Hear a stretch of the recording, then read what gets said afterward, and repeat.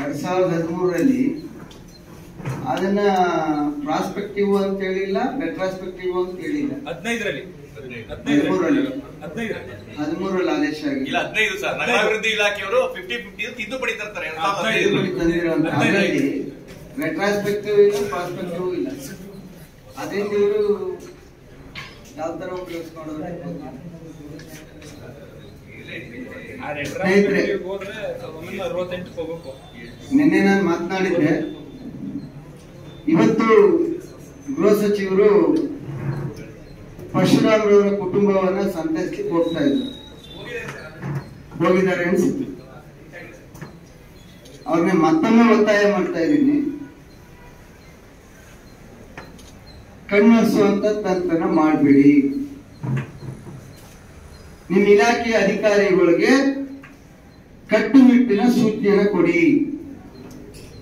ಯಾರು ಆರೋಪಿಗಳಿದ್ದಾರೆ, ಅವರನ್ನ ಅರೆಸ್ಟ್ ಮಾಡಿ. ನಂತರ ಅವ್ರ ಕುಟುಂಬಕ್ಕೆ ಹೋಗಿ ನೀವು ಸಾಂತ್ವನ ಹೇಳಿದ್ರೆ ಅವ್ರಿಗೆ ಸಮಾಧಾನ ನೀವು ದಯಮಾಡಿ ನಿಮ್ಮ ಪಕ್ಷದ ಶಾಸಕರು ಅಂತೇಳಿ ನಿಮ್ಮ ಮನಸ್ಸಾಕ್ಷಿಗೆ ದೂರ ಮಾಡ್ಕೋಬೇಡಿ ಬೇರೆ ಕೇಸಲ್ಲಿ ತುರ್ತಾಗಿ ಇಟ್ಕೊಂಡ್ಬರ್ತೀರಿ ಮೊನ್ನೆ ಗೊತ್ತಿರ್ಲಿಲ್ವಾ ಮುಖ್ಯಮಂತ್ರಿಗಳನ್ನ ಬಂದು ಶಾಸಕರು ಭೇಟಿ ಮಾಡಿದಾಗ ಅಲ್ಲೇ ಅರೆಸ್ಟ್ ಮಾಡಿಸ್ಬೋದಿತ್ತಲ್ಲ ರಾಜ್ಯದ ಜನ ನೋಡ್ತಾ ಇದ್ದಾರೆ. ಈಗ ಕೂಡ ಕಾಲ ಮಿಂಚಿಲ್ಲ.